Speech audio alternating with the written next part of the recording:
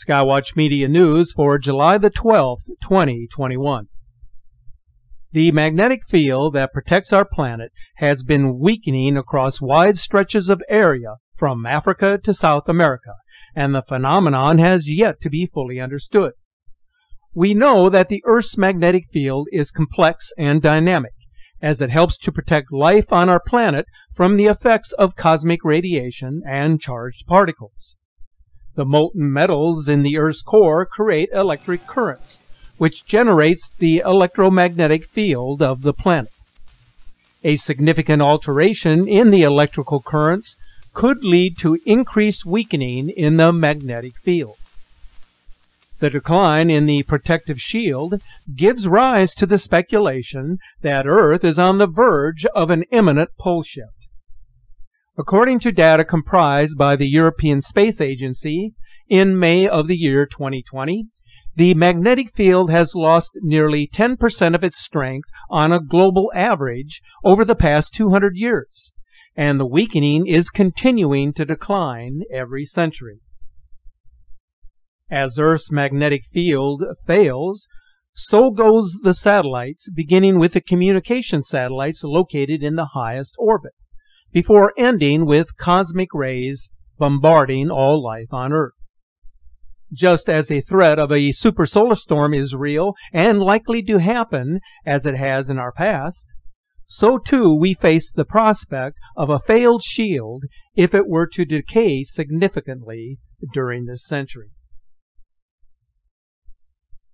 From what we can ascertain, a severe decline in the field produced a magnetic pole shift 774,000 years ago. But since that time, there has been numerous occasions in which the poles have nearly reversed.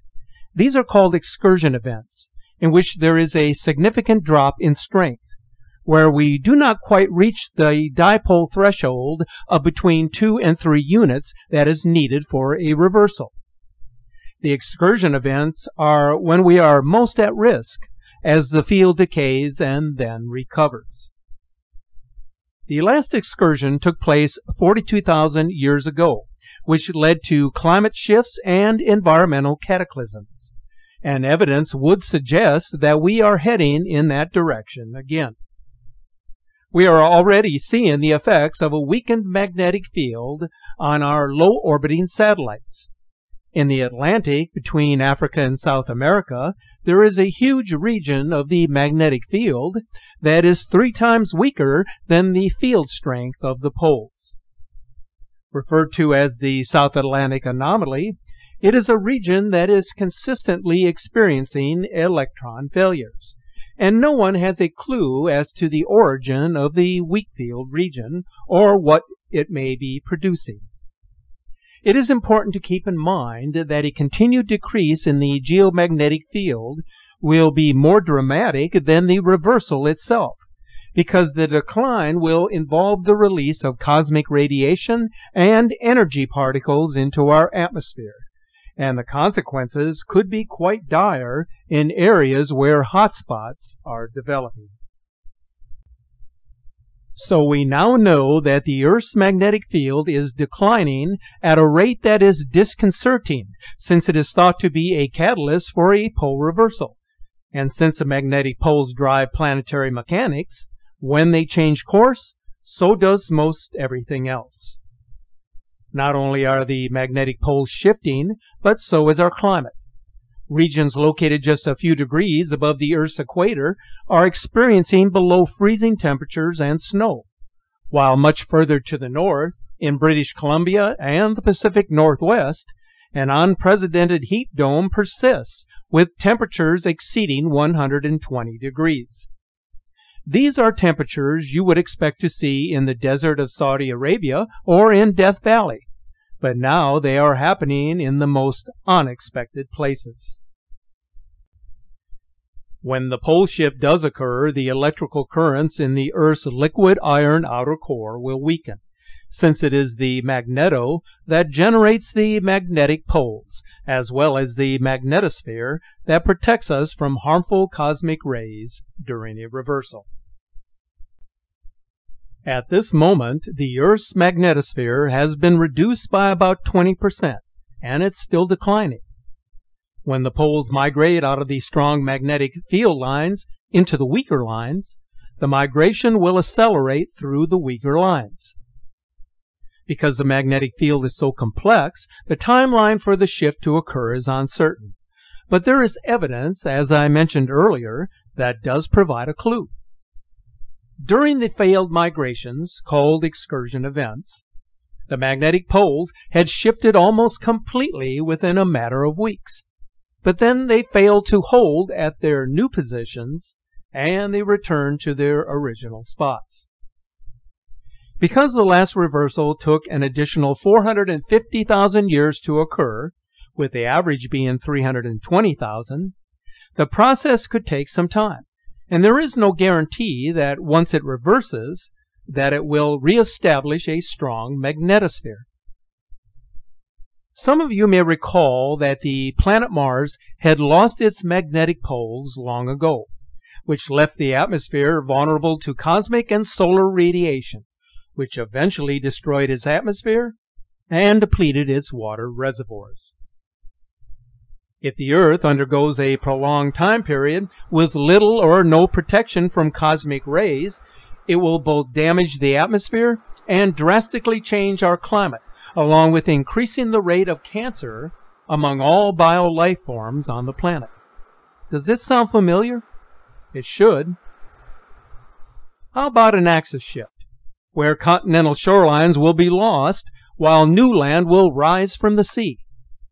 The media recently published reports that indicate that the Earth's axis is shifting due to changes in the climate. A chaotic magnetic reversal, along with a rotational axis shift, when it occurs, will be the most significant event in human history. And the saddest aspect of such a scenario is that the vast majority of Earth's inhabitants are virtually unaware or misinformed on what is taking place at this time. And possibly it may all be by design. On July 7th, a meteor blasted through the Earth's atmosphere over Taiwan shortly after 12:02 a.m. local time. The Lulin Observatory, located at the summit of Lulin Mountain, recorded a meteor erupting into a ball of fire.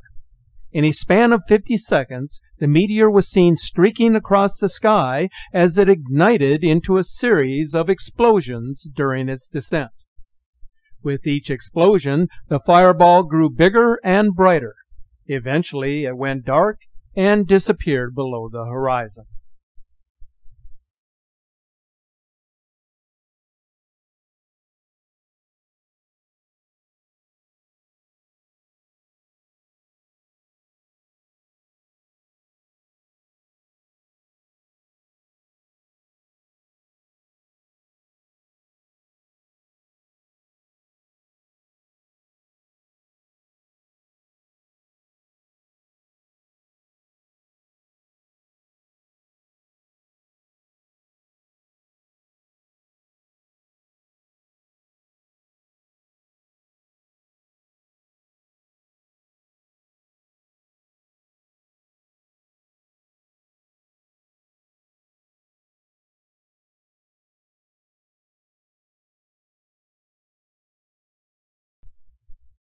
Residents of Taipei were stunned by the unusual atmospheric phenomenon.